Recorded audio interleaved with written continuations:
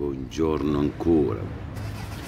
Vabbè, a prescindere che sta, no, non fa niente del messaggio che non mi ha mandato, non fa niente che mi sono svegliato 7-8 volte per vedere se era arrivato il messaggio e non arrivava mai. Vabbè, non fa niente, dai. Poi ho capito che qualcosa, io sinceramente pensavo che ti fossi addormentato, eh. E però mi sono svegliato una decina di volte, se proprio non vuoi sapere stanotte, per vedere se sto cazzo di messaggio arriva. e poi è arrivato stamattina, il messaggio della buonanotte. Vabbè, comunque la ricetta è questa, bisogna assolutamente uscire dall'ospedale. Ma io dico di uscire pure un giorno, pure mezza giornata, perché hai bisogno di respirare aria esterna. E loro lo sanno, anche i dottori lo sanno, che hai bisogno di ossigenarti. Capito cuore? Quindi, quando viene il dottore, inizia, a rompergli le palle.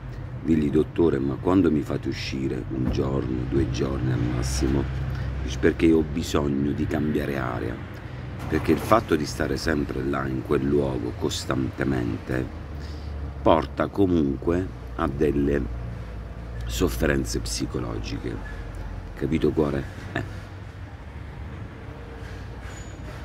Quindi questa secondo me è la ricetta migliore, ok? Perché dobbiamo entrare e dobbiamo uscire, dobbiamo entrare e dobbiamo uscire fino a quando non ne usciamo totalmente. Capito cuore mio?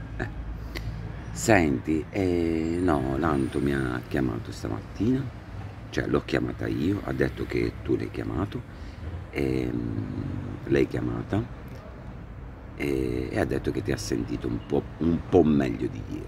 Comunque, mo, tralasciando tutte le, le, le cose cattive che sono successe in questi giorni, in questi paio di giorni, eh, dobbiamo cercare di fare proprio questo, di eh, rompere i coglioni al, al, medico perché deve farti uscire, assolutamente.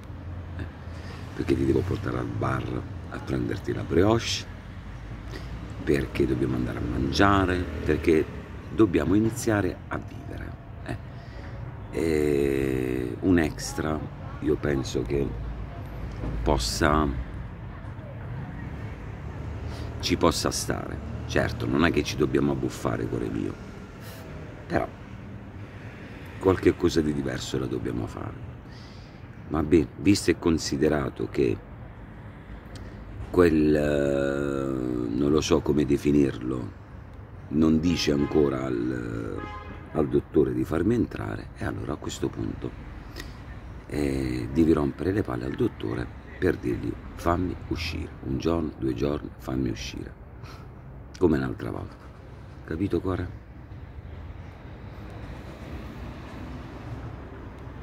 Boh. Non lo so, come se, se vedevo una zanzara gironzolare sui capelli, vedi quel puntino là, invece è un buco che sta sul muro. Va bene cuore? Beh, io